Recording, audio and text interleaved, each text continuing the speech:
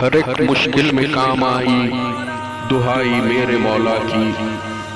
عجب کچھ ڈھپکی ہے، مشکل کشائی میرے مولا کی۔ محمد جس کے مولا ہے، علی بھی اس کے مولا ہے۔ محمد جس کے مولا ہے، علی بھی اس کے مولا ہے۔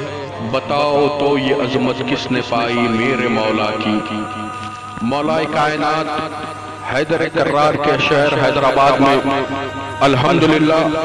پہلی مرتبہ دکن کی ممتاز خانخواہوں کے نمائندہ پلیٹ فارم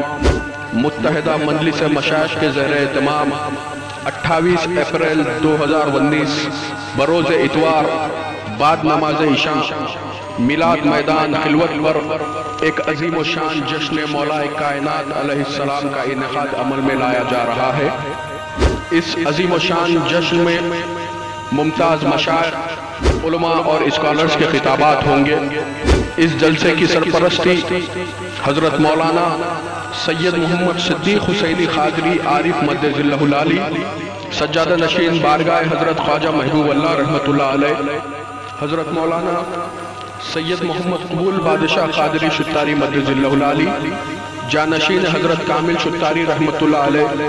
و معتمد صدر مجلس علماء دکن، حضرت مولانا سید کاظم پاشا خادری الموسوی الجیلانی مدد اللہ العالی سجادہ نشین خانقاہ موسویہ، حضرت مولانا سید شاہ اسرار حسین رضوی المدنی مدد اللہ العالی سجادہ نشین خانقاہ رضویہ حضرت مولانا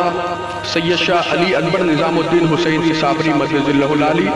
سجادہ نشین بارگاہ حضرت شاہ خاموش رحمت اللہ علیہ اور حضرت مولانا سید حسن ابراہیم حسینی خادری سجاد پاشا مدد اللہ العالی جانشین حضرت شیخ الاسلام رحمت اللہ علیہ فرمائیں گے۔ جبکہ دکن کی ممتاز خانخواہوں کے سجادگان و متولیان بحیثیت مہمانان خصوصی و اعزاز شرکت کریں گے جلسے کا آغاز خیرت کلام پاک سے ہوگا اور شہر حیدرآباد کے ممتاز سناخان رسول بارگاہ رسالت ماب صلی اللہ علیہ وسلم و بارگاہ ولایت ماب علیہ السلام میں تحفہ غلامی پیش کرنے کی سعادت حاصل فرمائیں گے۔ جشن مولا کائنات کے شریک متمدین مولانا سید محمد ابراہیم قادری فاروق پاشا زرین گلاب اور مولانا سید لیاقت حسین رضوی مختار پاشا اور اس جشن مولا کائنات کے کنوینئرز مولانا سید احمد الحسینی سعید قادری، مولانا سید غلام سمدانی علی قادری اور مولانا سید آل مصطفیٰ قادری الموسوی الجیلانی علی پاشا نے تمام غلامان اہل بیت اطہار سے گزارش کی ہے کہ وہ اس عظیم و شان جشن مولا کائنات میں زیادہ سے زیادہ تعداد میں شرکت فرماتے ہوئے اہل بیت اطہار سے اپنی اٹوٹ وابستگی کا ثبوت دیں یاد رکھیں اٹھائیس اپریل، بروز اتوار، بعد نماز عشاء، میلاد میدان خلوت گراؤنڈ پر جشن مولا کائنات منایا جا رہا ہے۔ تمام غلامان اہل بیت اطہار سے